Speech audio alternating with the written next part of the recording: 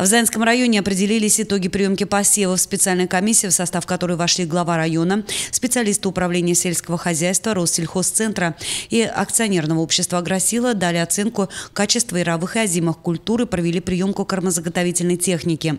Состояние посевов оценивалось по 50-бальной системе и по пунктам. Выполнение плана, соблюдение технологий, качество всходов, культуры земледелия, чистота сорняков, густота растений на 1 квадратный метр. Проверка показала, что на заинских полях полях среднее количество растений составляет 450-600 штук. И это очень хороший показатель. По итогам первое место отдано производственному комплексу Савалеева агрофирмы «Заинский сахар», второе – комплексу «Багряш» агрофирмы «Восток» и третье место – производственному комплексу «Кадырова» агрофирмы «Зай». Сегодня ребята настроены. Будем приглашать на Сабантуй. 250 примерно человек будут приглашены.